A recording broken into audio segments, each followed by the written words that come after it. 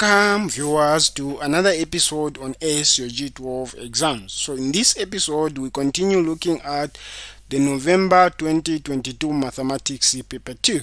So in the previous episode we covered the question 8. So let us move to question 9a. The diagram shows a triangular piece of land ABC.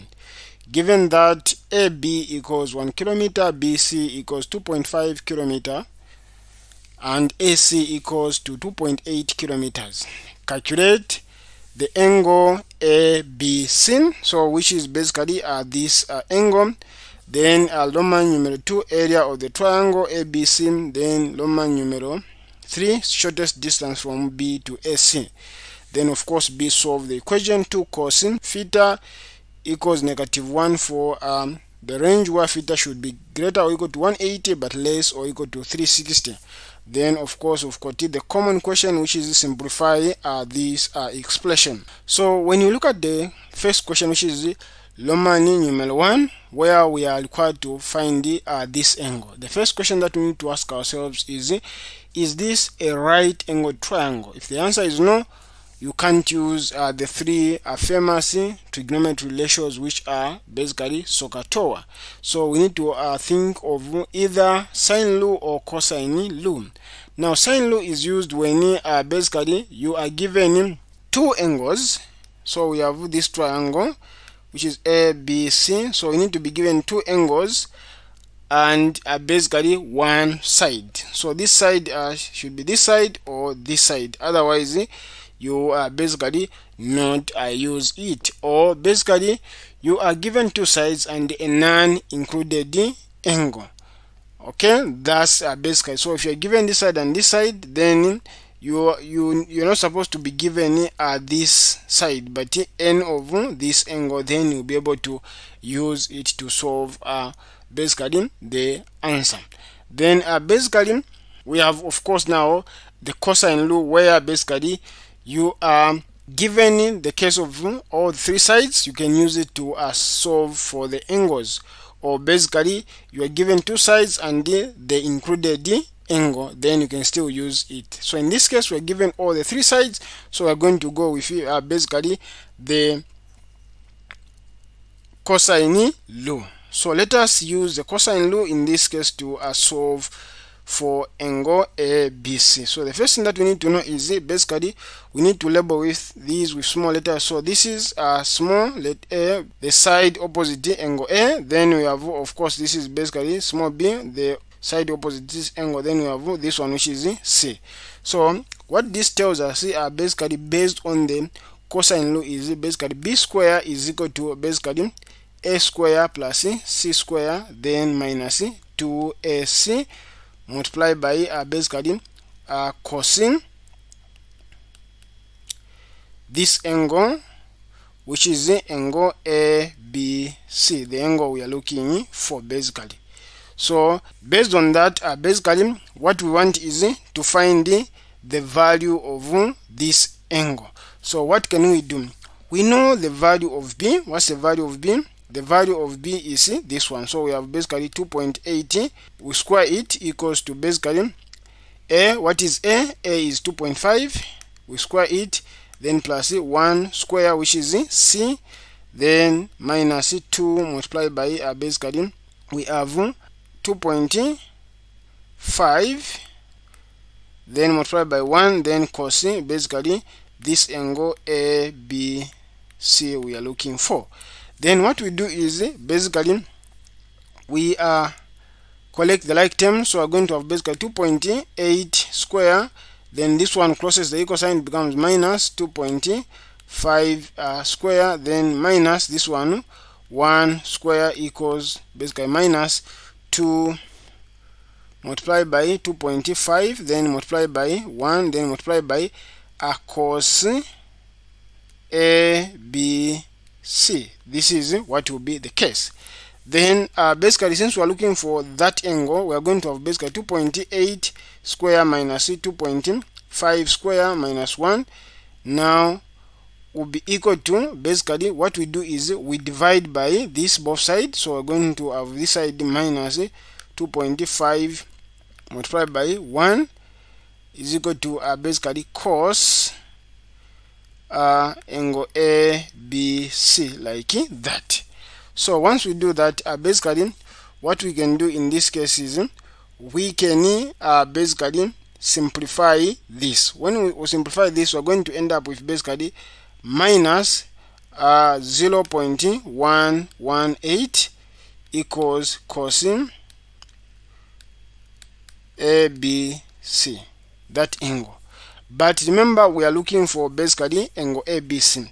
So what we do is we multiply by the inverse of cos to remain with this angle we are looking for, which is ABC.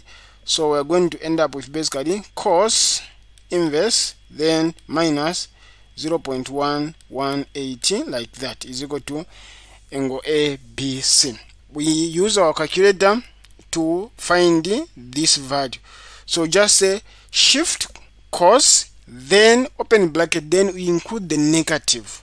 When we include the negative we are looking for this value.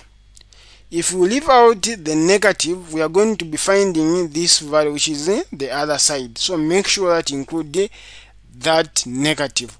Once you include that negative, you are going to find this angle to be basically uh, 96 point basically 776 which to one decimal place it will be nothing but uh, basically 96.80 degrees as our answer. So here the answer is 96.8 so take note. If you leave out a negative the answer you're going to find here this this answer will be basically 83.2 which is the answer here not here so if that's the case use a positive you need to subtract this one from 180 to arrive at 96.8 take note of that. Okay. So let us move to uh, basically Roman numeral uh, 2 which is the area of the triangle. So let me move to uh, where the space but I'm going to maintain uh, the triangle which is uh, like this so this angle we just found it to be 96.8 degrees. So the area of a triangle given the angles subtending two sides if two sides are given to you this side and this side then you have this angle. To find uh, the area of the triangle is just basically half multiplied by the two sides subtending this uh, angle which is in this case we have this is c then this is a. So it will be a multiplied by c then multiplied by sine this angle which is angle abc like this.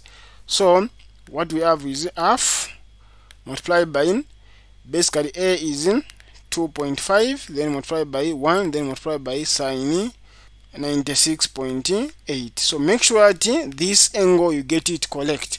If you mess up on this angle then you mess up everything so what happens in this case when you use your calculator you're going to find 1.24 kilometer square as basically the area so once you do that it's uh, basically easier for you to answer this question let us move to question Roman numeral 3 of A. So we need to calculate the shortest distance from B to AC. So let me just come here. So what you are saying is what's the shortest distance moving from B to C? So is that so shortest distance happens when this angle is 90 degrees. So that's what we are looking for. So we shall call this value to be basically x. So what we know is basically this distance divide this uh, triangle into two parts we shall call this to be uh, a1 then a2 then from here to here this is d1 then from here to here this is d2 so basically how can you find the area of a triangle so the area of the triangle is basically just equal to half multiplied by base times the height so in this case x is the height so to find the total area of this triangle, which is A, is equal to basically area 1 plus area 2. What is area 1? So area 1 is this distance multiplied by the height, which is x. So it will be half multiplied by uh, height, which is x, then multiplied by d1, then plus basically we have half multiplied by again basically x the same height which is this one then d2 then this is the total area. So area is equal to basically when we factor out what is common this one and this one is common and half is half then multiplied by x times d1 plus d2 so what is d1 plus d2 d1 plus d2 is this whole entire distance which is in, we shall call d. So what we have is area is equal to basically half multiplied by x times d. We are looking for x which is in the shortest distance. So we just cross multiply. So it will be 2m is equal to x multiplied by d. So to find x we divide by d both sides. So x is equal to basically 2a over d. So this is what you need to know remember the shortest distance generally is given by x or x is equal to 2 times area that we found previously multiplied by this base distance which is AC. AC is the D. So I want you to understand the logic behind before I give you the answer. So basically to answer now the shortest distance which is x we just say basically uh, area area we found it to be 1.24 kilometer square divided by uh, basically this distance which is 2.8 then x is equal to basically nothing but 0 0.88 uh, 7 kilometer as in the shortest distance. So if you can remember the formula we just proceed from here that the shortest distance is equal to 2 multiplied by area over this side. But I wanted to give you the background so that you know how to solve uh, this uh, question. So basically that's how you get uh, these uh, basically 9 marks. So let us move to question B. Solve the equation 2 cos theta equals negative 1 for uh, this uh, basically range. So what we do in this case is basically 2 cos theta equals basically negative 1 then we divide by 2 we divide by 2 so cosine theta equals basically negative 0.5 then we're looking for theta so we multiply by the inverse of cos both sides so we're going to end up with cosine inverse then negative 0.05 now because this is a negative so what this tells us we are looking for the a quadrant where cos is negative. Remember all students take chemistry. So but this theta should be uh, greater than 180 but less than 360 so we are looking for the bottom quadrant. So which quadrant in which our cos is negative? So you see in this uh, third quadrant. So meaning our theta will lie in this uh, area in this range. This is where it will lie. But uh, we are going to start from this above 180 that's what it means. So what we are going to do is instead of uh, finding this to be theta we shall call it alpha is equal to basically cos inverse of positive 0.5 so because we are going to restrict ourselves in this quadrant then uh, we can ignore the negative. So the negative this negative guides us in which quadrant are we going to uh, add or subtract. So what we proceed we go and look for this alpha using our calculator. So shift cos 0.5 we are going to end up with basically 60 degrees. So this 60 degrees what it tells us are basically because theta is starting from this so we are going to add here. So meaning theta now becomes uh, 180 which is the minimum starting point plus this alpha because this is the part in which cos is negative. So we're going to end up with 180 degrees plus uh, 60 the one that we found to be alpha. So which will give us basically 240 degrees as in the value of basically theta which is this one. So theta will lie in this uh, range. Remember it's only one where cos is negative so this is very important that you know uh, this uh, principle so basically this is how you answer question b so let us move to question c on question C, basically we're just uh, simplifying. So remember, simplify means the same as evaluate or complete. So basically, this is uh, much more easier. So we look for what is uh, common. So we know that um, this uh, y and this y can cancel. then we know that x into x square is x then x and x cancels.